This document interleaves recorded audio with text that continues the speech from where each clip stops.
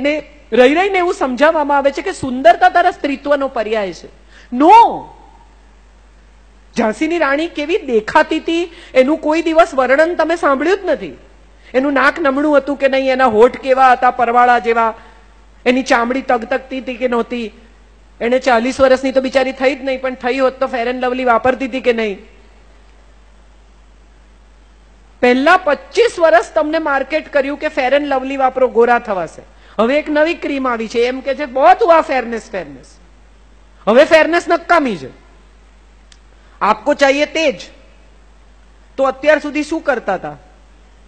પેઢીની પેઢીઓ નીકળી ગઈ અને તમે મૂર્ખી બનાવી. હવે નવી પેઢી આવી અને તમે નવી રીતે મૂર્ખા બનાવો છો. અને બને છે. વાળ સિલ્ક જેવા થઈ જાય. અરે, આ તો ફોટોશોપની કમાલ છે. તમારા બે વીડિયો આપો, તમારા વાળે આવા કરી આપશે. આપણે આ સમજવા જ તૈયાર નથી કે સુંદરતા એ સ્ત્રીત્વનો પર્યાય નથી.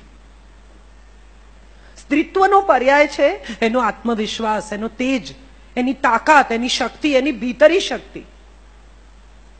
વુમન એમ્પાવરમેન્ટના તમામ લેક્ચરમાં હું એવું કહું છું કે પુરુષ સાથે લડે, પુરુષ સમોવડી થાય એ સ્ત્રીઓ એમ્પાવર્ડ છે જ નહીં. એમ્પાવર્ડ સ્ત્રી એ છે કે જેને ખબર હોય કે પતિ બીમાર પડે ને ત્યારે મેડિક્લેમની પોલિસી ક્યાં મૂકી છે, કેશલેસ છે કે નહીં, અને કઈ હોસ્પિટલમાં લઈ જવાનો. આ ખબર છે? તો તમે એમ્પાવર્ડ. પતિએ કોને પૈસા આપ્યા છે, ક્યાં આપ્યા છે, કેટલા આપ્યા છે? એની નાની નાની ડાયરીઓ, કેશના વિડ્રોલની ને કેશના લેવડ દેવડની ક્યાં મૂકી છે? તમે બધાના નંબર છે? નહીં તો કાલે ઉઠીને જો કંઈ પરિવારમાં ન થવાનું થયું, તો વિશ્વાસ રાખજો કે તમારી બધી સુંદરતા નકામી છે. તમે ગમે એટલા રૂપાળા હશો, તમારા લાખો રૂપિયા ક્યાંય અટવાઈ જશે અને તમને ખબર નહીં પડે. અને મારે પુરુષોને આ વાત કહેવાની છે. બૈરાઓનું શું કામ છે? સૌથી વધારે કોઈને કામ હોય ને સાહેબ, તો એ તમારી પત્નીને છે. એનો અધિકાર છે તમારા તમામ વહીવટો જાણવાનો. એને આ કહેવાવું જોઈએ અને કાયદેસર બેસાડીને કહેવાવું જોઈએ કે આ લિસ્ટ છે બેટા. અરે, આ લિસ્ટ છે બેન. અહીંયા અહીંયા આ લખ્યું છે, આને અને આપ્યા છે, મને કંઈ થઈ જાય તો તને આ ખબર હોવી જોઈએ.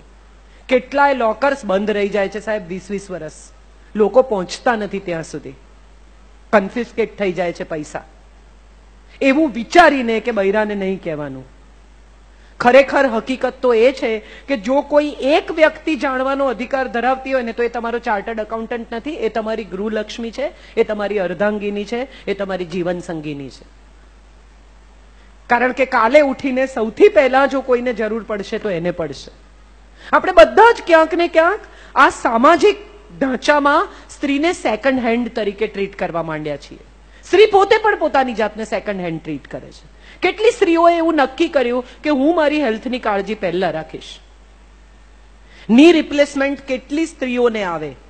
એનું કારણ એ કે એ પોતાનું ધ્યાન રાખે જ નહીં. ત્રીસ, બત્રીસ વર્ષે તમે ફેર એન્ડ લવલી નહીં વાપરો અને સ્કિન ટાઈટ નહીં કરો તો ચાલશે, પણ કેલ્શિયમની ગોળી અચૂક લેજો. મેનોપોઝનો સમય શરૂ થાય. ત્યારે મોટા ભાગની સ્ત્રીઓ એ વિશે કશું જાણતી જ નથી. હોટ ફ્લેશિસ શું છે? કેમ થાય છે? આ તકલીફ કેમ થાય છે? ઘરના લોકોને બહુ પ્રેમથી બેસાડીને પતિ, બાળકોને એવું કહેવું જોઈએ કે હવે મારી જિંદગીમાં અઢારેક મહિના ખરાબ આવવાના છે. હું વાતે વાતે ગુસ્સે થઈ જાઉં, હું કદાચ સેન્સિટિવ થઈ જાઉં. તો મારામાં હોર્મોન ઇમ્બેલેન્સ થઈ રહ્યા છે. પ્લીઝ મને સહન કરજો. કારણ કે મેં મારી જિંદગીના પચાસ વર્ષ તમારા બધાનો મિજાજ સહ્યો છે.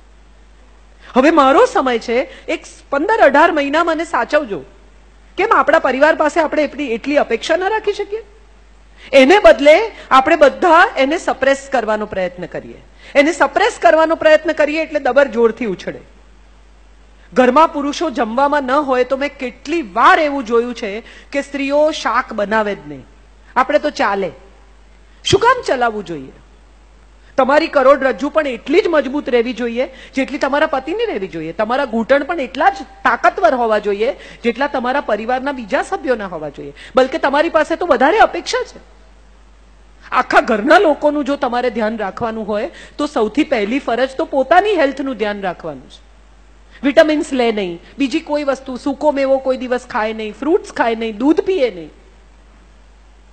આ એને બાળપણથી શીખવવામાં આવ્યું છે કે તું તો ત્યાગ બલિદાન સમર્પણની દેવી છે. હા, કરો ને ત્યાગ બલિદાન સમર્પણ કરો. પુત્ર વધુ એમ કે ને કે મમ્મી સાડી બહુ સરસ છે તો કહેવાનું લઈ જા દીકરા, મેં બહુ પહેરી છે. અહીં ત્યાગ આવે છે. અહીં ત્યાગ આવે છે.